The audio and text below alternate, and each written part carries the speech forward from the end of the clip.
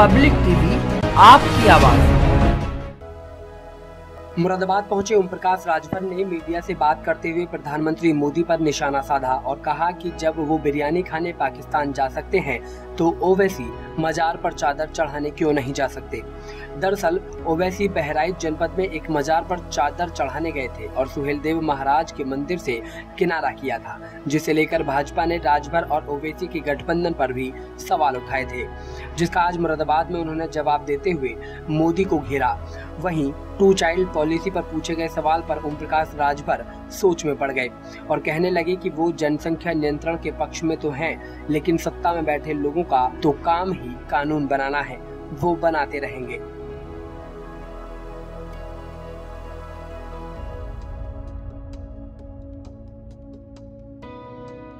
आज मुरादाबाद मंडल की समीक्षा बैठक है संगठन को लेकर के। इसी उद्देश्य से इधर आने का कार्यक्रम है। ओवैसी के साथ गठबंधन हो गया है। क्या मैसेज दिया है देखिए पचास दलों का गठबंधन भारतीय जनता पार्टी मिलाकर के देश और प्रदेश में सरकारें बनाई पचास दलों का। गठबंधन की सरकारें लंबे समय से बन रही हैं। तो अब उत्तर प्रदेश में अभी पिछली जो वर्तमान सरकार चल रही है, एक भी गठबंधन की सरकार है? तो गठबंधन का दौर चल रहा उस गठबंधन के दौर में हमने भी भागीदारी संकल्प मोर्चा बना के दस दलों का गठबंधन किया है। और जो हमारे साथ जो दल हैं, ये सभी लोग मजबूती से अपने अपने संगठन को ठीक ठाक किए हैं। बाईस में भागीदारी संकल्प मोर्चा की सरकार बनेगी। ये गारंटी के साथ हम आपको कह रहे हैं। कल ओवैसी जी कहीं मजार पे गए लखीमपुर में। और आपके जो जिसके नाम पर आपकी पार्टी सुहेल दी वहाँ नहीं जा पाए मंदिर में। ये क्या मैसेज गया आपके बहुत अच्छा मैसेज है। जब देश के प्रधानमंत्री माननीय नरेंद्र मोदी जी बिरयानी खाने पाकिस्तान जाते हैं और देश के सामने भारत पाकिस्तान से गुमराहियत पैदा कराते हैं आडवाणी जी जिन्ना के यहाँ मजार पे जा, चादर चढ़ाने चले जाते हैं, राजनाथ जी जा करके जो है, रोजा खोलते हैं लखनऊ में मुसलमानों के बीच में बैठ करके। ये नहीं दिखाई देता है। कश्मीर में महबूबा मुफ्ती से ये समझौता करते हैं और बीजेपी मिलकर सरकार बनाती है। अभी नागालैंड में वहाँ एक मुस्लिम पार्टी समझौता करके सरकार बनाने की कवायद में लगे हैं। ये करें तो रासलीला, हम कहें तो करेक्टर ढीला। अभी यूपी गवर्नमेंट ने उन लोगों के नाम पे सड़क रखने का है, जो मतलब उसमें जो बाबरी मस्जिद वाला जो प्रकरण था, जो वहाँ उनको शहीद का दर्जा दे करके उनके नाम पर सड़क बनाई जा रही है। कार सेवकों का नाम करके क्या देखते हैं आप? क्या कहते हैं? देखिए, इनके पास कोई मुद्दा है नहीं। आज ये बेरोजगारी पे बात करने लायक नहीं रह गई है भाजपा। आज महँगाई पे बात करने लायक नहीं रह गई है भाजपा। आज बेरोजगारी पे बात करने लायक भाजपा नहीं रह गई है। लाइन आर्डर पे बात करने के लायक नहीं रह गई भाजपा। तो ये जनता का ध्यान भटकाने के लिए ये इसी तरह के सगुफा खाली छोड़ते हैं। कुछ करने वाले थोड़े हैं। ओवैसी की आइडियोलॉजी में और सुहेल देव की आइडियोलॉजी में तो बहुत अंतर है। कोई अंतर नहीं है।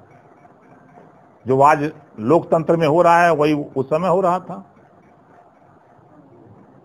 उस समय एक राजा का राजपाट छीना जा रहा था तलवार के दम पर।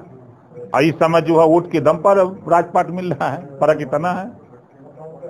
राजनीति के गब्बर ने अभी डीएनए पर एक कमेंट किया था आपने जो मोहन भागवत जी का। सही किया हूँ। मोहन भागवत जी ने जो कहा कि आ, जो मुसलमान और हिंदू का डीएनए एक है तो फिर ये दंगे क्यों हुए इसके पहले? फिर लोगों को मारा पीटा क्यों गया? और मुझे तो जहाँ तक लग रहा है कि डीएनए एक है तो भारतीय जनता पार्टी को मुसलमानों की आबादी 22 परसेंट है भाई। इनको 80 टिकट दे दो विधानसभा में। तब तो माने कि डीएनए एक है। ये खाली ध्यान भटकाने के लिए बयान दे रहे हैं। डीएनए एक होने का भी जो उन्होंने प्रमाण प्रस्तुत किया बहुत सही कहा है। हम तो उसको मानते हैं। शहनवाज हुसैन मुख्तार अब्बास नकवी गवाह हैं प्रवीण तोगड़िया गवाह हैं आपके मुरली मनोहर जोशी गवाह हैं आडवाणी गवाह हैं। इन लोगों की भतीजी इन लोगों की बेटियाँ जो है मुसलमानों के यहाँ शादी हुई है तो वहाँ तो डीएनए मिल ही रहा है। अब कहाँ गड़बड़ है डीएनए? क्या आपका गठबंधन टू चाइल्ड पॉलिसी का समर्थन करता है? अभी जो केंद्र सरकार भी ला रही है और आसाम में रहा है। किस तरह देखते हैं टू चाइल्ड पॉलिसी को? देखिए हम मानते हैं जनसंख्या नियंत्रण कानून। हम भी उसके स्वीकार हैं, लेकिन सत्ता में बैठे हुए ऊपर से नीचे तक हैं। ये लोग जो कानून बनाने वाले लोग हैं, ये तो कानून बनैबे करेंगे। जाके पैर फटे बेवाई सो ही जाने पीर पर आई एक सवाल है उसका लास्ट में 2017 में अखिलेश की साइकिल पर राहुल गांधी बैठ गए। आपका भी गठबंधन हुआ ओवैसी से कहाँ तक चलेगा? मंजिल तक। क्या मंजिल है सर? दिल्ली तक। अच्छा यूपी से दिल्ली का रास्ता। कहा कितना वोट बैंक मानते हैं आप? ओवैसी के साथ गठबंधन के बाद। देखिए तैतालीस परसेंट वोट अति पिछड़ों का है जिनको सभी पार्टियों ने लूटा है। 1700 थाने हैं 826 ब्लॉक है, पचहत्तर ज़िले हैं 18 कमिश्नरी है। जब हिस्सेदारी देने की बात आती है तो सारी पार्टियाँ भाग खड़ी होती हैं, इनको हिस्सेदारी नहीं देती हैं। और वोट लेना होता है तो फिर इन्हीं के बीच में आ जाती हैं। तो यह तैंतालीस परसेंट पिछड़ा है और 22 परसेंट मुसलमान।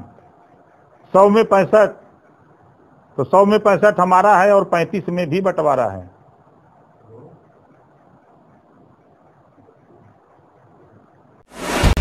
पब्लिक टीवी आपकी आवाज़।